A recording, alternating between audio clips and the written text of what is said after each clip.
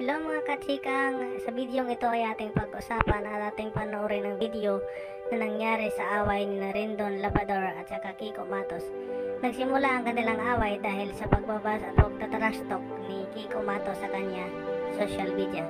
Kaya panoorin po natin ang video sa likod ng kanilang away. Kilala si Rendon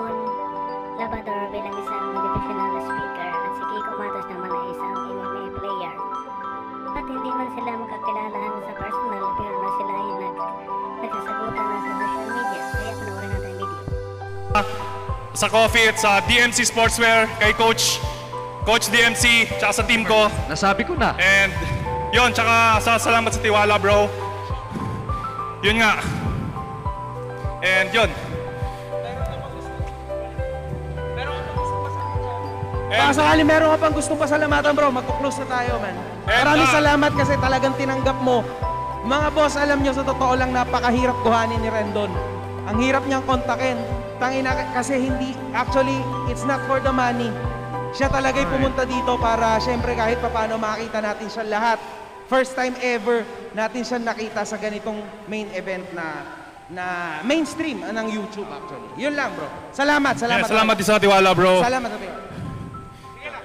Anything else, bro? Yung, Ah. yung jersey mo. Oh, sige, ah, yung jersey ko nga pala nasuot ko sa game kanina. Pwede na kayo bumili sa Shopee niyan.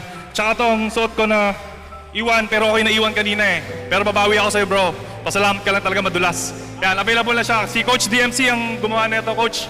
Babi gusto kong i-plug. Salamat. Salamat sa lahat ng sumuporta. Thank you. Thank you din.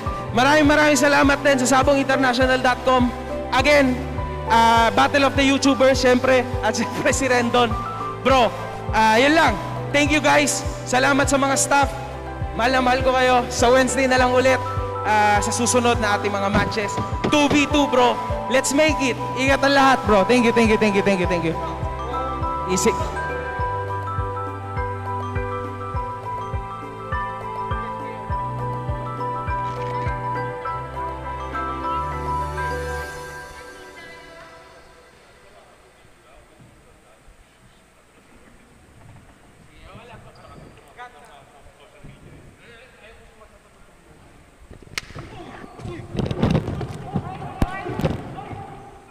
Putik!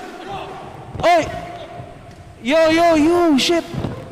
Yo, yo, yo! Oy, Kiko, Kiko! Putik! Kiko, Kiko! Putik! Alma! Oy, oy, Kiko, Kiko! Yo, yo! Ay, putik! Yo, yo! Oh my God, man. Putang ina. At nangyari na nga ang hindi inaasahan, sinapak na ni Rendon si Kiko Matos at nang matapos niyang sapakin, umalis na po ito sa area. At nagsabi si Kiko Matos na idedemanda niya daw si Rendon.